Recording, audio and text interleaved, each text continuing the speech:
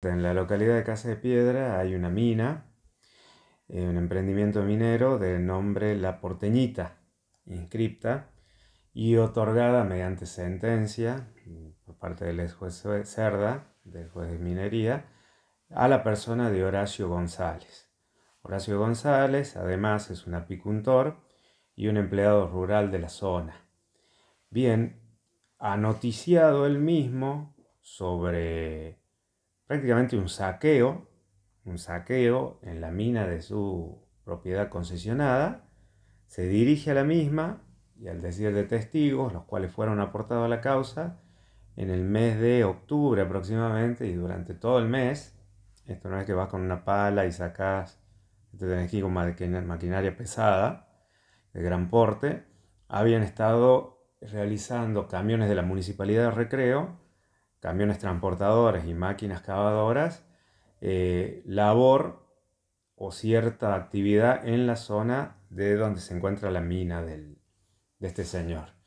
Cuando se apersona y introduce, introduce, ve que aproximadamente había unos 4.000 metros cúbicos que habían sido extraídos de manera totalmente ilegal, sin el permiso de él, y que no solo había provocado este robo, este robo de este material base, sino que además sobre la superficie se encontraba también material, eh, un ecosistema bastante variado, en el cual había quebracho blanco, sumado a un microemprendimiento de él, aprobado por Senasa, con los pedidos de luz y agua correspondientes para la actividad de apicultura, que es la que realiza Horacio.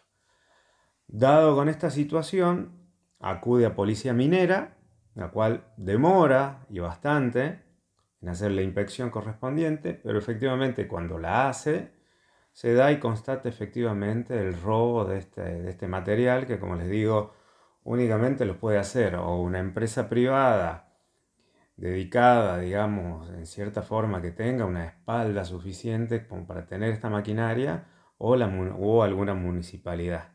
A él le señalaron que eran, eh, que tenían el logotipo de la municipalidad de Recreo y Horacio se da cuenta que, a ver, ocho, años ocho meses perdón, antes, él se dirigió al intendente Luis Polti a fin de solicitar eh, la correspondiente traslado de energía y agua.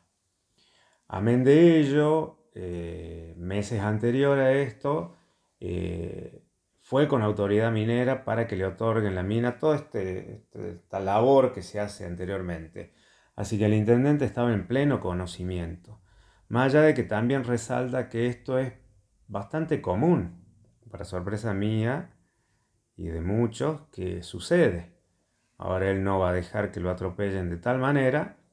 Se dirigió ante la intendencia, no lo quisieron atender, le negaron cualquier tipo de explicación y es ante ello que nos vemos la necesidad de acudir ante la Fiscalía General de la provincia a fin de plantear, plantear esta denuncia, no solo por robo, sino por daño ambiental y, en fin, daños y perjuicios, porque el lugar estaba señalizado no solo por la autoridad minera, sino por él, una labor que te, exige la ley. No puedes decir que fuiste a un lugar y a ver, fueron con tal precisión al lugar que tenían la data justa de dónde estaba encontrado este material. ¿Qué es lo que se estaría, eh, cuál es el material que se habría... Claro, era, mi, era mica ¿sí? y felfospato. ¿sí? Dos materiales que, a decir de estos testigos, a ver, la municipalidad los extrae ilegalmente y los comercializa ilegalmente, los trafica. La municipalidad ahí sí ya no tiene la facultad de separar estos materiales de lo que es la tierra y otros materiales que no, no son valiosos. Así que directamente los venden, así como los sacan, los venden y en otro lugar se ocupan de realizar ya esta labor para separarlos, limpiarlos y venderlos. A ver, esto no está más, no, no, no estamos exagerando la hora de contrabando, porque realmente lo saca de una manera ilegal y no los va a vender de una manera legal. Aparte, la municipalidad no se dedica a eso. ¿sí? Lo venden a sectores que sí se dedican a eso.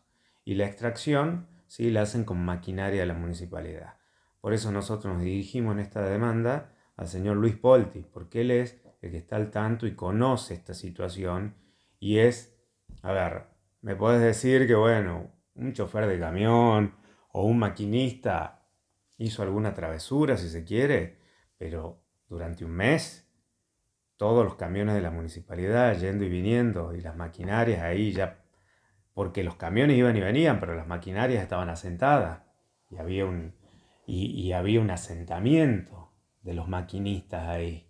¿Me entiendes? Esto es una cuestión a gran escala y en un lugar prácticamente desertificado y me digan, no estaba este señor ahí, es que la actividad minera tiene estas complicaciones, que uno no, no, no, no estaba siendo explotada todavía.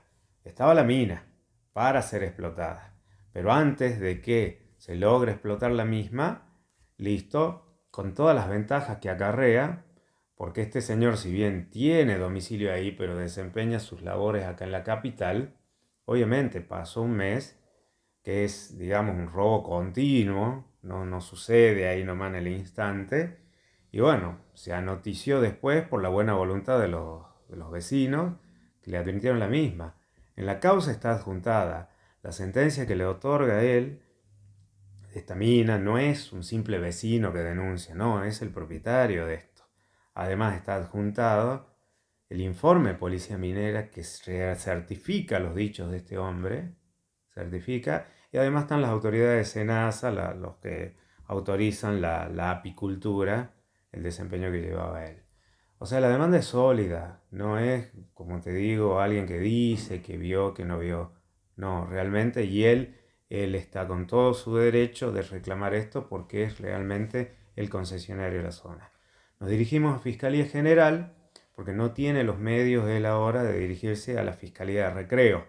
Pero bueno, dirigiéndonos acá, luego o lo tomarán ellos o lo girarán a Recreo. Pero bueno, esta es la situación. Y la situación es verdad que esto sucede muy a menudo hasta que este señor decidió decir basta. Hasta acá llegamos. ¿Había cierto temor en, denunciar primeramente esta situación? ¿O por esta cuestión de, del tiempo que le llevó a enterarse de lo que sucedía se da ahora que se presenta en Fiscalía? Mire, ahora nos presentamos en Fiscalía porque tenemos todos los papeles y todos los testigos que teníamos que tener. Nos hubiéramos presentado antes, pero la verdad, desde la presentación de él ante Policía Minera pasó un mes y medio.